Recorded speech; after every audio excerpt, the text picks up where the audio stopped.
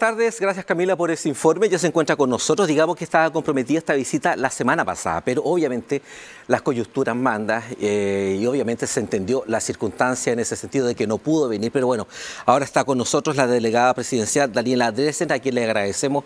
Gracias delegada por estar con nosotros. Muchas gracias a ustedes por tenerme acá. Efectivamente, la semana pasada justo tuvimos el tremendo incendio que tuvimos ahí en Nacimiento y Santa Juana y nos tuvimos que trasladar hacia allá. Pero qué bueno poder estar acá. Oiga, yo que soy más viejo que usted, eh, yo no recuerdo eh, quizás el terremoto del 2010, pero una delegada, hago el símil con, con lo que es la figura del intendente, se entiende, son absolutamente distintos, pero a la hora de asumir que hayan sido meses tan movidos, Usted entre el tema político, el tema de la macro zona sur, el tema de los incendios forestales, a la hora de evaluar, yendo en, estas evaluaciones que uno de repente hace con la almohada, ¿Se arrepiente de haber asumido o no? No, no me arrepiento en ningún momento de haber asumido, pero, pero efectivamente han sido meses extremadamente desafiantes eh, y ha sido un rol eh, bastante difícil el que me ha tocado eh, cumplir. Eh, pero, pero le voy a agregar un tema más a los que usted dijo. Eh, está el tema de la macrozona sur, pero además está el tema de seguridad, que es un tema que no aplica solo a la, a la macrozona, sino que es un tema que la ciudadanía está sintiendo todos los días y a cada rato, eh, que tiene que ver con esta sensación de inseguridad tan grande que tenemos en las ciudades también, y que también ha sido un tema muy fuerte del que nos ha tocado, nos ha tocado trabajar. Pero además tenemos el tema económico, mm. ¿cierto? Que es un tema que se nos ha desencadenado a, a propósito del COVID, eh, pero también a propósito de la guerra de Rusia-Ucrania que nos ha generado una crisis económica que también de alguna forma nos golpea directamente a nosotros como país y de la que también tenemos que hacernos cargo. Eh, y a eso se le suman todas las demandas sociales, que eran las demandas que venían, ¿cierto?, muy fuerte desde el estallido social y de las que también hemos tenido que, hacernos cargo. Entonces, es un, es un escenario que ha sido un escenario complejo, pero efectivamente para eso llegamos. Por eso digo que no, no me arrepiento nada, porque llegamos justamente para buscar las soluciones a los problemas que la gente necesita. En ese sentido, usted se mantiene en su puesto, no hay cambios en ese sentido hasta este momento no hay cambios y yo, como siempre lo he dicho, nosotros, todas las personas que estamos en el gobierno, estamos constantemente en evaluación y si es que en algún momento se decide que hay que salir, bueno, hay que salir, pero hasta este momento estamos trabajando, estamos trabajando con mi gabinete eh, justamente para resolver los problemas de la, ciudadanía. Delegada, vamos al tema de los incendios forestales. Eh, es una situación súper compleja lo que se está viviendo en Santa Juana, Nacimiento. ¿Cuáles son las carencias hoy día y cuáles son los requerimientos en ese sentido que se le puede hacer, no sé, a la propia gente o al aparato gubernamental, estatal, para trabajar de mejor forma? Bueno, primero que todo decir que lo que, lo que ocurrió en Nacimiento Santa Juana es algo de extremada gravedad y de mucha preocupación. Eh, los incendios forestales no se producen solos y la gran mayoría de los incendios forestales se producen por causa humana. Aquí, eh, tanto sea por negligencia o sea a propósito. Ya, eh, y aquí decir que en nuestra región tenemos uno de los niveles de incendios más altos que se producen intencionalmente. y eso es una gran preocupación porque genera los problemas que hemos visto en Nacimiento y Santa Juana, que son problemas graves y profundos hacia los ciudadanos y las ciudadanas, o sea, pérdida de casas, pérdida de sus cosechas, pérdida de la vida de que se han creado durante todos los años de trabajo y que eso genera las pérdidas. Entonces, nosotros ahí decir que eh, existe una responsabilidad humana y esa responsabilidad humana la tenemos que hacer valer. En ese sentido, nosotros vamos a perseguir a las personas que resulten responsables de este incendio y los otros incendios. Nosotros hemos puesto querella en el caso del EU, donde claramente existe una intencionalidad, en el caso de Coronel, que fue la persona que se captó por una cámara el día de ayer. También hemos puesto querella porque vamos a perseguir a todas estas personas que están haciendo los incendios a propósito. Y también hay que ver los temas de negligencias, porque ya no podemos permitir que eh, la gente, sabiendo el peligro que tiene, por ejemplo, generar incendios, por ejemplo, no cortar los árboles que están al lado de una línea eléctrica eh, y los efectos nocivos que esto genera. Respecto del incendio, lo que usted me preguntaba, eh, nosotros estamos llegando ya con, la ayuda, que es la ayuda que tiene tanto el mecanismo de Senapred, ¿cierto? Ex ONEMI, eh, que llega con la ayuda inmediata, con eh, enseres, con las casas de emergencia, pero además con las otras ayudas que son las ayudas que salen desde el Ministerio del Interior también, que pueden ser ayudas en términos de bonos, que pueden ser ayudas en casas más estables, que pueden ser ayuda en planchas y otras cosas que han perdido eh, y también con nuestro Ministerio de Agricultura para ver cómo podemos resolver los, los, temas de las pérdidas de cosechas, del forraje de los animales y todo ese tipo de cosas. Nuestro el gobierno está desplegado en este momento en Santa Juana y Nacimiento, viendo cuáles son las necesidades, que son las necesidades que la gente tiene para poder llegar con las soluciones. Delegada, la alcaldesa menciona la necesidad de instalar y de decretar zona de catástrofe. ¿Eso está descartado ahora? ¿No se necesita? Eh, en este momento, según los análisis que nosotros estamos haciendo eh, de la situación, nosotros podemos llegar con las herramientas que son las herramientas eh, regulares que tenemos a propósito de la declaración de la alerta roja que ocurrió durante esos días y por lo tanto podemos llegar pero desde luego que es algo que estamos analizando. Si viéramos algún problema mayor, si viéramos alguna otra situación que requiriera analizar una nueva medida, sin duda que es algo que vamos a hacer. El Ministerio de la Semilla y Agricultura inició un catastro. A esta altura se sabe cuántos campesinos y campesinas o microagriculturas eh, se vieron directamente afectadas por este incendio que consumió más de 5.000 hectáreas. ¿Hay, algún adelanto que se pueda conocer? No tengo en este momento los números finales porque todavía están, están haciendo este trabajo de, catastro. Eh, sabemos que es eh, incluso mayor que lo que tenemos en eh, los temas de casas. ¿Ya? Eh, es algo que va a ser probablemente más amplio que los temas de casa. En, Nacimiento el alcalde hablaba de eh, ocho casas, pero al menos 18 predios que eran predios agrícolas. Pero insisto, estos son, números que son números muy preliminares y que tenemos que ver también en el caso de, Santa Juana. En el, caso de Chihuayante, hoy día preguntamos muy temprano al Ministerio Público a través de su unidad de comunicaciones si es que se habían iniciado ya investigaciones por parte del Ministerio Público en Chihuayante, en el caso de Nacimiento y en Santa Juana donde es vital la denuncia para eh, llegar con antecedentes eh, que sirvan en este sentido para iniciar una investigación sólida y robusta. En ese sentido, ¿usted sabe si el Ministerio Público le habrá comunicado a usted o si las denuncias se han materializado para iniciar en este sentido investigaciones? Eh, en el caso de que no exista una denuncia por alguna entidad concreta, lo que ocurre es que Carabineros hace una denuncia de oficio para estos casos. Pero acá lo más importante, y, voy a volver a decirlo, es que las personas que tengan datos concretos, ya sean instituciones o personas individuales, puedan hacer llegar esos datos concretos. Eh, y es lo que nos pasa con los incendios, que son los incendios que se, que se generan a propósito. Muchas veces estos incendios, la gente que vive alrededor ve eh, situaciones extrañas, ve conductas extrañas y de alguna forma se retiene de hacer la denuncia por miedo, porque conoce a las personas, porque no quiere, no quiere meterse, ¿cierto? Pero para nosotros y para las investigaciones que vienen después es esencial la información, que es la información que puedan entregar las personas que tienen conocimiento y poder avanzar con estas investigaciones y atrapar a las personas que sean los culpables y que de alguna forma se hagan responsables del gran daño que producen. En el caso del nacimiento de Santa Juana, hablamos sí o sí de un acto intencional, premeditado. El alcalde de, de Chihuayante, para el incendio del 24, lo indicó así, incluso anunció también una, una querella en este sentido, que estamos a la espera si se materializó o no. En el caso de Santa Juana de Nacimiento, ¿algo usted eso entregaba al iniciar esta investigación? ¿Se trata sí o sí de un incendio intencional, premeditado, preparado? Eh, aquí hay una investigación que es una investigación que hacen los equipos técnicos de CONAF para determinar eh, concretamente, ¿qué fue lo que inició eh, estos incendios? En este momento, para el incendio de Nacimiento Santa Juana, no tenemos ninguna evidencia de que haya sido algo intencionado. Más bien aparece aparentemente ser eh, un asunto accidental, pero de nuevo sí con incidencia humana. El ¿Accidental provocado en qué punto? En nacimiento, en, nacimiento inicia este, este incendio. Se ¿Y inicia en qué día en particular? El día jueves. Jueves. Eh, ahí se inicia un foco el día jueves en la tarde. Eh, ¿A raíz de qué? ¿Una quema no autorizada? Eso es algo que vamos a tener que definir. Hay, un tema que es un tema que el alcalde, al menos con la gente que vive en nacimiento, ha levantado y que tiene que ver con que un árbol hubiese caído en una línea eléctrica, y eso cortando la línea y que hubiese generado ese problema. Pero insisto, esto es algo que hay que investigarlo aún para saber eh, cuál fue la causa de que cayera el árbol, por ejemplo. Eh, si es que había alguna negligencia ahí respecto de eso o no. Eh, de parte de privados, en de parte De, claro, entonces, o si es que hay un problema con la línea eléctrica que no hubiese despejado, bueno, etcétera. Pueden haber muchas alternativas respecto de eso, pero volver a decir, acá los cuidados, ya sea negligencia o sea intencional, tienen que ser y tienen que ayudarnos desde la ciudadanía, desde las personas para poder generar las denuncias. Los incendios forestales en general arrasan muchísima de la evidencia que se podría tener levantar, digamos, para poder ver cuáles son las causalidades por la potencia que tienen. Por lo tanto, la información que podamos recabar es muy importante.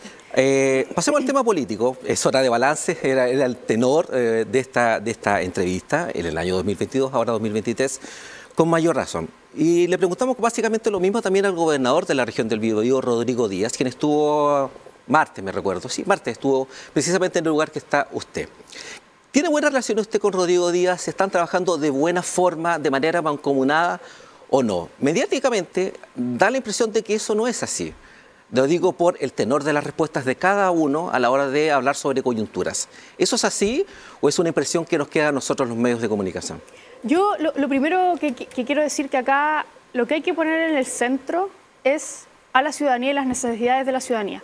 y yo siento que tanto el gobernador como como yo, estamos trabajando para resolver las necesidades de la ciudadanía. Eh, y en los casos en los que tenemos que coordinar esos esfuerzos, lo hemos hecho sin ningún problema. Un ejemplo, el tema de relleno sanitario que fue también eh, un tema muy importante durante la semana pasada. Eh, nosotros acá hemos puesto justamente a disposición los recursos del gobierno regional, del gobierno central, para llegar con una solución que es una solución que toda la región necesita. Y eso es algo que se ha repetido en los temas de seguridad, cuando se ha necesitado eh, financiamiento para la compra, por ejemplo, de autos blindados para carabineros, el gobierno regional sin ningún problema ha puesto los recursos a través del CORE para que eso sea de esa manera. Entonces, preocupaciones que son preocupaciones de absolutamente todas las personas y eh, el gobierno central y el gobierno regional nos hacemos parte de poder llegar con las soluciones. Entonces, volver a decirlo aquí, esto no se trata de... Em, quién es la figura más fuerte. No hay un enfrentamiento en ese sentido, ni discusiones en ese sentido política, de fondo. Eso no ocurre. Eh, acá el objetivo, tanto del gobierno regional como del gobierno central, está en encontrar las soluciones eh, a las necesidades de las personas. Y eso a mí al menos me ha quedado muy claro en la relación que tenemos con el gobierno regional, pero también en la relación que tenemos con los municipios, eh, con las distintas figuras, con los parlamentarios. Acá, por ejemplo, el robo de madera. El robo de madera ha sido un tema absolutamente políticamente transversal para el trabajo que se ha realizado. El, Parlamento sacó una ley para el robo de maderas que a nosotros desde el Gobierno regional nos ha permitido, con el trabajo con las policías, generar mejores procedimientos, como el procedimiento que acaba de haber en la región del Maule, eh, un procedimiento muy exitoso de persecución de una cadena de crimen organizado de robo de madera. Delegada, el mismo tema político. Hay quienes señalaron, eh, sobre todo en el inicio de su cuestión, de poco manejo político, de falta de una mano dura para enfrentar el tema macro zona sur, y lo otro, de un cuerpo de gabinete político que no la acompaña en ese sentido, que no la apoya, que tiene poca presencia en ese sentido en los territorios. Mediáticamente podría poco importar, pero sí importar lo que están trabajando y haciendo ellos por sus territorios, que de repente quizás no se visibiliza. ¿Usted concuerda con eso? ¿Cómo recibe en ese sentido esa, crítica que sobre todo se manifestó y bastante fuerte, sobre todo de parlamentarios y parlamentarias, sobre su gestión? Yo ahí volver a decir lo que, he dicho antes, nosotros estamos muy abiertos a, las, críticas, a las opiniones respecto a lo que podemos mejorar. Eh, y eso también ha sido parte como fundante de eh, nuestro gobierno, que es siempre dialogar, siempre escuchar las opiniones para ir mejorando. Respecto a la presencia en los territorios, a mí me gustaría que le preguntaran a los alcaldes, a las alcaldesas respecto de eso, porque la opinión que ellos tienen es de una presencia, de hecho, lo, he escuchado muchas veces, que nunca antes habían visto. ¿Usted siente en ese sentido que usted lo ha hecho bien? Yo siento en ese sentido que mi gabinete ha estado desplegado en los distintos territorios. Todos, ha estado, transversalmente. transversalmente encontrando las soluciones y buscando las soluciones. Tenemos una inversión en, por ejemplo, en la provincia de Arauco, ya que es un tema muy importante a propósito de la macrozona, una inversión que no se había visto antes, una inversión que los mismos alcaldes reconocen que es una inversión que ellos necesitaban hace mucho tiempo y que no estaban teniendo y que ahora están teniendo. La cantidad de dinero que ha llegado de Subdere, pero también de obras públicas. Tenemos el presupuesto, el segundo presupuesto más grande para el año 2023 en obras públicas de todo el país y eso tiene que ver justamente con el trabajo que se ha realizado y con las necesidades que tenemos que impulsar y que de alguna forma el gobierno está escuchando y está entendiendo lo importante que esto es. ¿Usted no ha solicitado cambios de Ceremis o de Ceremías? Acá, volver a decir lo que dije hace un ratito, nosotros estamos siempre en constante evaluación. Lo entiendo, pero usted, como delegada presidencial, viendo que quizás algunos CEREMIS o direcciones no están funcionando bien, ¿ha solicitado cambio en ese sentido? ¿Siente que las estructuras o las políticas de cada una de las CEREMIas y direcciones, digamos que gran parte de las direcciones también están con directores subrogantes algunos de ellos? En ese sentido, vuelvo al tema, ¿no ha replanteado y dicho, sabe, esta área no está funcionando, necesitamos un cambio de estructura, de forma de trabajar, de cambio cambio de autoridad.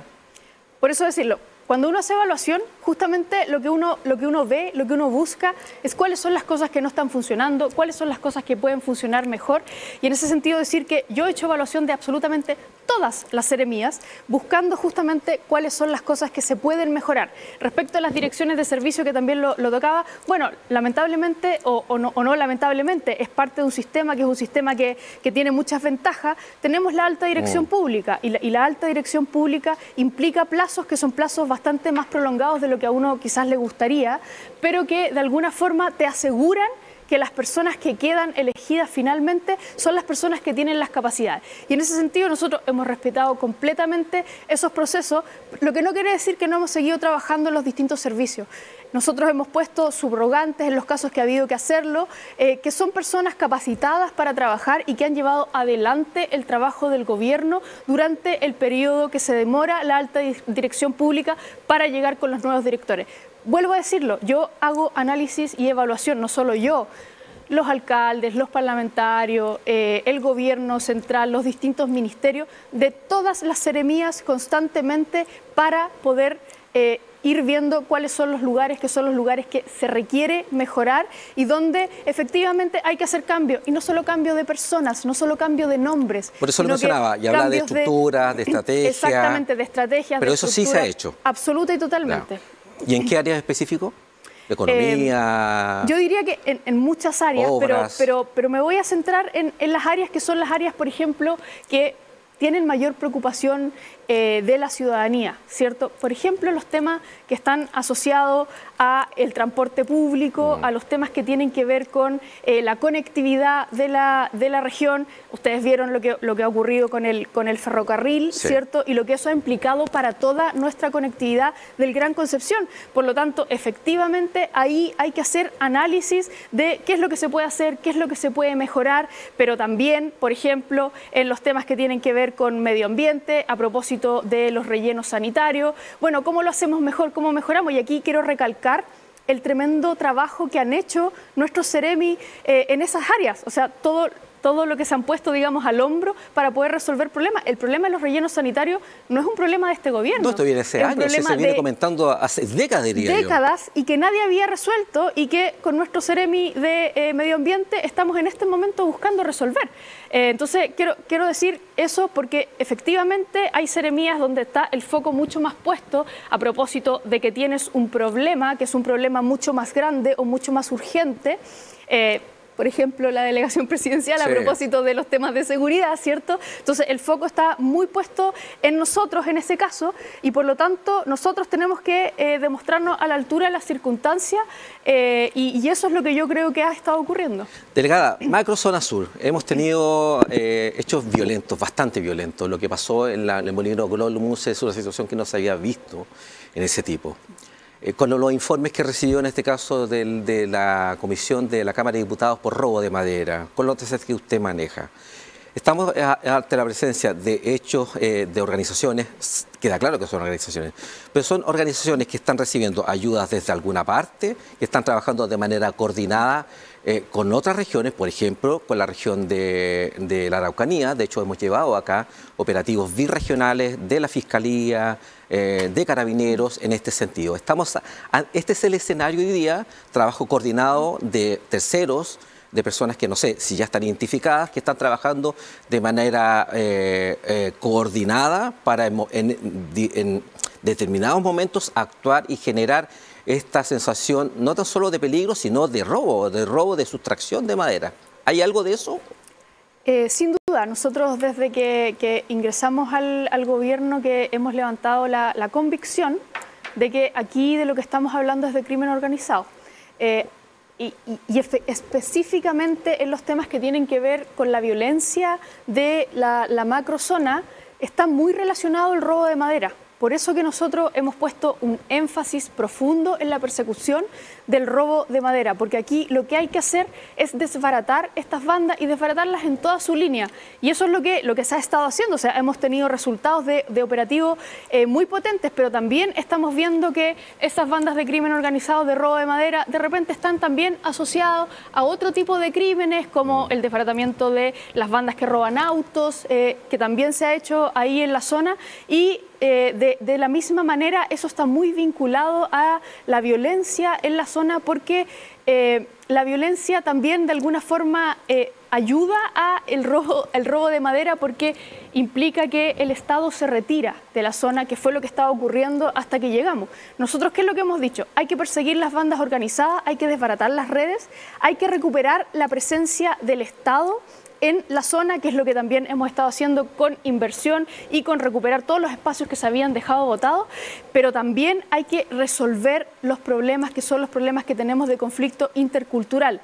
La Comisión de Robo de Madera del Parlamento lo dijo, nosotros lo hemos dicho constantemente, no es lo mismo el tema de violencia con el tema de conflicto intercultural, sin embargo, están ambos en la misma zona y por lo tanto nosotros tenemos que resolver los problemas de conflicto intercultural, tenemos que resolver las, deudas que existen con el pueblo mapuche eh, y al mismo tiempo tenemos que desbaratar las bandas de crimen organizado y al mismo tiempo tenemos que recuperar la presencia del Estado. Podría ser que sea, y aquí estoy especulando, que pueda ser una misma banda, una misma banda que está atacando, en el robo de madera me refiero, en Biobío y Araucanía, que sea la misma banda y que se está movilizando, digamos entre otras cosas, no sé si usted lo dijo, que eh, el conflicto se está movilizando.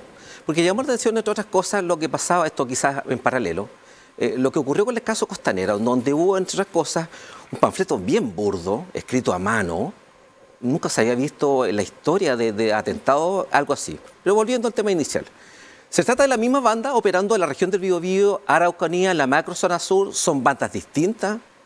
Bueno, eso es algo que las investigaciones van a tener que. De momento no se puede asegurar eso. No, es algo que yo, que yo pueda asegurar. Lo que sí podemos decir es que eh, al tratarse de bandas de crimen organizado, operan de manera distinta de el resto de los delitos que nosotros habíamos visto hasta este momento. Se mueven de manera distinta y las conexiones que tienen también son diferentes. Por eso mismo que los operativos, que son los operativos que se han hecho en varias regiones al mismo tiempo, que se coordinan también pensando en que la lógica del crimen organizado no es la misma lógica del de el delito puntual, eh, que era lo que estábamos acostumbrados a enfrentar en, en el periodo previo y por eso las medidas que son las medidas que se tienen que tomar también son pensando que aquí estamos hablando que los límites territoriales que, nosotros hemos marcado no necesariamente responden a los límites territoriales de estas bandas. Cortito, lo que pasó en la costanera son hechos que no tienen nada, que ver con este tema, repito, y dado como ejemplo este, este papel burdo que apareció en la costanera, son hechos que buscaron, y el fiscal, no me acuerdo cuál, hablaba de, también imitadores.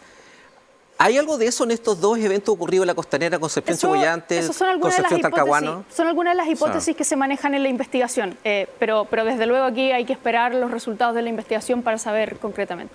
Por último, eh, eh, fiscal iba a decir, delegada, delegada, el tema biotren, misma pregunta que le hice al gobernador.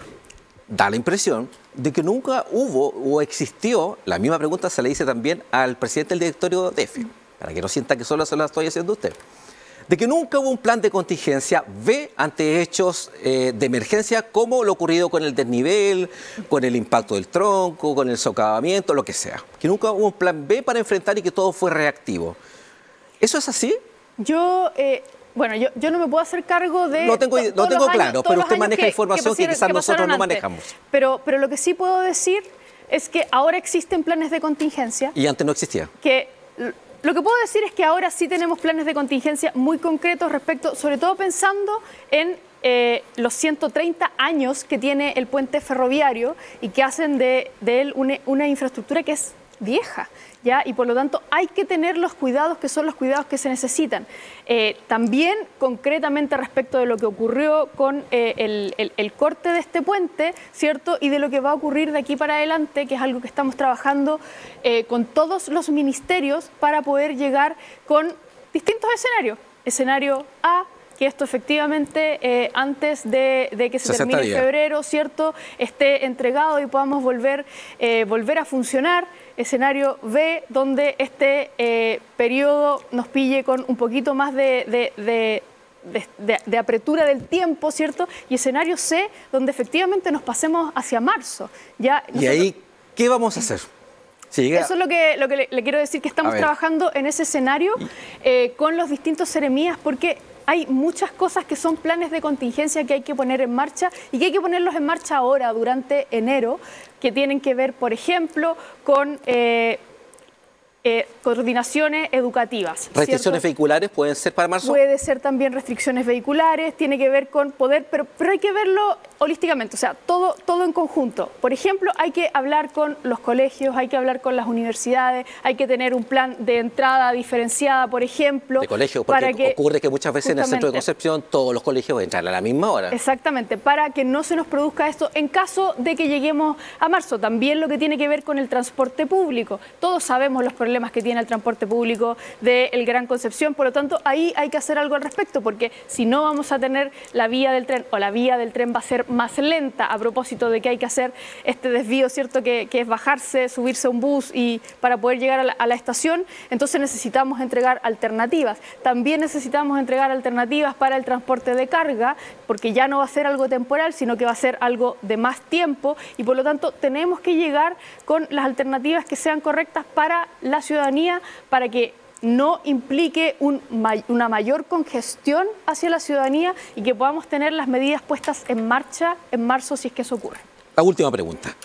¿FSUR en las primeras horas de ocurrir la emergencia trabajó bien según usted? Me refiero en el plan a la hora de la gente, que la gente estuviera informada, que supiera que los recorridos iban a ser suspendidos, mm. eh, mejorar los centros de, en este sentido de llegada del biotren, los buses de acercamiento. ¿Se trabajó bien en las primeras horas? ¿FSUR lo hizo bien? Yo aquí lo, que quiero decir es que eh, nosotros trabajamos bajo la lógica de la constante mejora. ¿sí? Eh, yo creo que efectivamente FSUR está funcionando mejor ahora de lo que estaba funcionando al principio. Pero en las primeras horas, ¿se trabajó bien o usted siente que se pudo haber trabajado mejor? Siempre se puede trabajar mejor. Y en este caso particular se puede trabajar mejor. Siempre se puede trabajar mejor y por, y por, eso quiero decir que la constante mejora es eso. Si uno piensa que lo está haciendo perfecto, es que no tienes espacio para ninguna mejora. Y nosotros creemos que efectivamente siempre se puede trabajar mejor. Entonces si me dice la hora 1 fue probablemente peor que la hora 2 y peor que la hora 3 y peor que la hora 4 porque efectivamente se fue mejorando en cada uno de los minutos, también recibiendo la información que se tenía de la ciudadanía, la información que se tenía de las cámaras de tránsito que nos estaban diciendo lo que estaba pasando. Bien, delegada, no alargamos bastante, el director me va a matar, pero era interesante hablar con usted. Eh, habían varios temas pendientes. Gracias por estar con nosotros, gracias por estar en esta edición tarde de TV1 Noticias. Queda invitada para más adelante. Ojalá sean muy buenas noticias, que partamos este semestre no alcanzamos a, tocar o este trimestre económicamente mejor de lo que terminó, que fue bastante complejo. Ya hablaremos de las, de las pymes, ya hablaremos en ese sentido de los balances, de lo que diga el ministro de Hacienda y que ojalá el IPC nos acompañe. Gracias por estar con nosotros. Muchas gracias a ustedes por tenerme acá y un gran saludo a, la persona, a las personas que nos están viendo. Bien, perfecto. Director, ¿vamos a la pausa? Vamos a la pausa y luego volvemos con más noticias.